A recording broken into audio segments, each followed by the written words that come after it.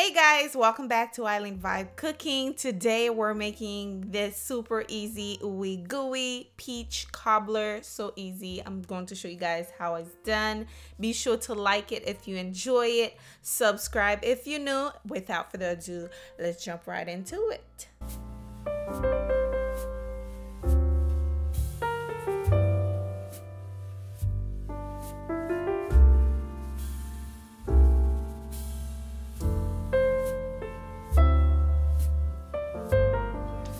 Right, this is what you need to make this super easy peach cobbler. Here I have salt, I have cornstarch, ground cinnamon,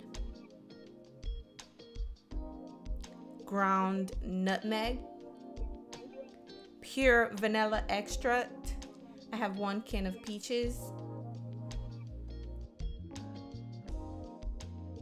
self-rising flour, sugar, unsalted butter, and yeah, this is what you need basically to make this. I'm adding about one stick of butter in here. Then I'm going to pop it in the oven so I can melt it. And also that will make the baking pan that I'm baking it in nice and hot. When I pour my batter in there, it'll be nice and hot, ready for this peach cobbler. Now let's make our batter.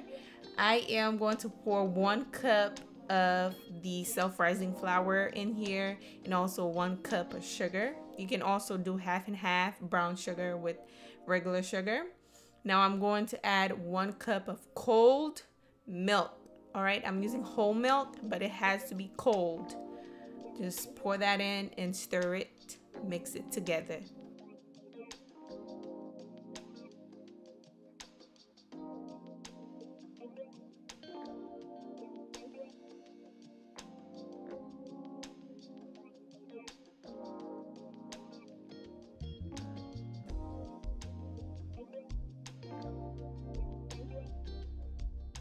Now I am going to pour my peaches right in here. Then we're going to start adding all the ingredients in there. I'm using one teaspoon of cinnamon and about a quarter teaspoon nutmeg, a teaspoon of vanilla extract, and a little bit of salt. I'll say a little bit under a quarter teaspoon of salt. All right. And also I'm adding one tablespoon of cornstarch in there. That will make it nice and thick. All right, we're going to stir it together to make sure um, we don't have any lump with the cornstarch. Stir it together until you have something like this.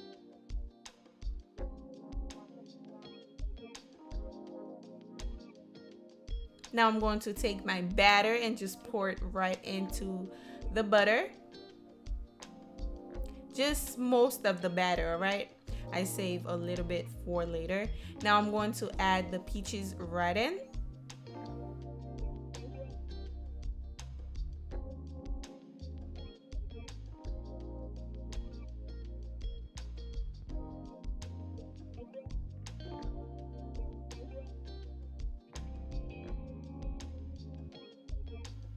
Now I'm going to add the rest of the batter right on top, just like that.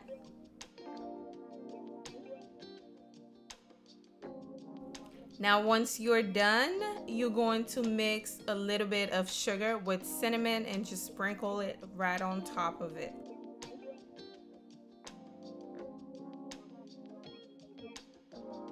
If you don't like that much cinnamon, you can just use a little bit, but it's nice. It gives it a nice flavor. I'm going to bake this on 350 for 50 minutes. Once it's done, ooh, you should have something like this. Super ooey gooey. Super ooey gooey peach cobbler classic recipe you cannot go wrong just follow the the measurement and it will come out exactly like this all you need now is some ice cream, and then you're good to go.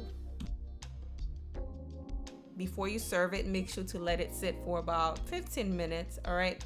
And this is the recipe, quick and easy, super easy. Peach cobbler. Hope you enjoy it. Hope you like it. If you did enjoy it, be sure to give it a like, share with your friends, and also subscribe if you're new. Thank you for watching, guys. I'll see you guys tomorrow in another video. Bye.